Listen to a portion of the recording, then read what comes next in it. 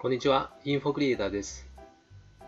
今日は関数とは何かについてお伝えします。Excel には関数と呼ばれる機能がたくさん存在します。数式タブを開けると、関数ライブラリーのリボンのところに、例えば財務関数だったり、数学、三角関数だったりと、数多くのたくさんの関数が存在します。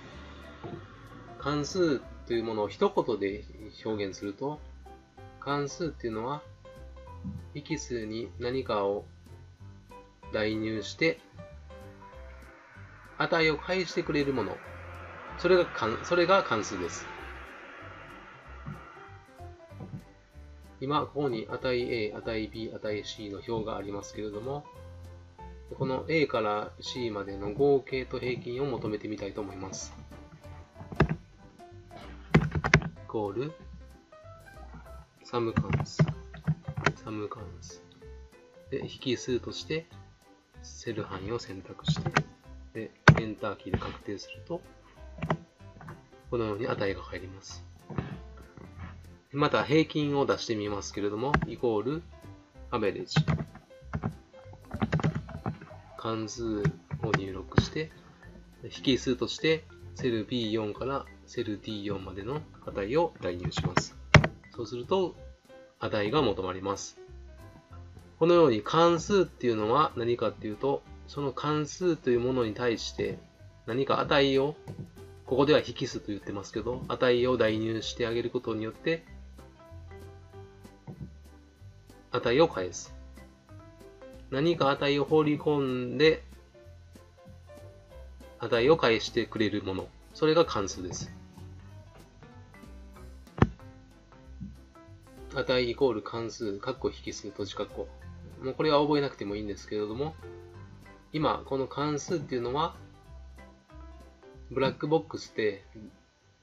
中身が見えないんです。関数の内部で何をやってるのかはわかりません。あの、Excel が何の言語でプログラミングされたのかはわからないですけれども、この関数のプログラミングコードを見ると必ず複雑な計算をして答えを出してます。僕たち Excel のユーザーは Excel のユーザーがやるべきことっていうのはこの関数の使い方を覚えればいいということです。関数の使い方っていうのは、このように、イコールの後に関数名を入力して、左括弧を入力して、引数を入力して、で右括弧を入力して、エンターキーで確定すれば答えが出るという、この Excel の関数の使い方さえ覚えれば、関数の中身がどうなっていようと関係ありません。関数の使い方を学ぶっていうのがこの Excel でとても大切なことです。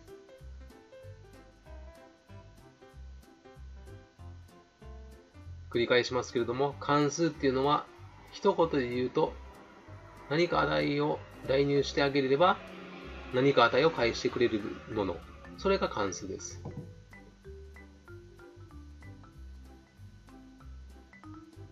今、合計と平均を求める関数、サム関数とアベレージ関数を使いましたけれども、その他にもたくさんの関数が存在します。の関数は一個一個確実に覚えていくことで、後々関数を組み合わせるというやり方で、非常に複雑な関数を構築することができます。つまり、今、関数に値を代入して値を返すと言いましたけれども、この関数の中にまた別の関数を代入することによって値を返すといったその関数の組み合わせ複雑な関数の組み合わせを構築することができます。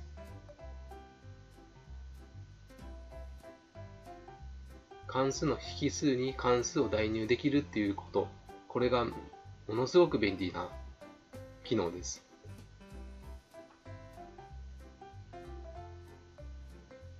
関数っていうのは使えば使うほど面白くなってきます。一つ一つ頑張って学んでいきましょう。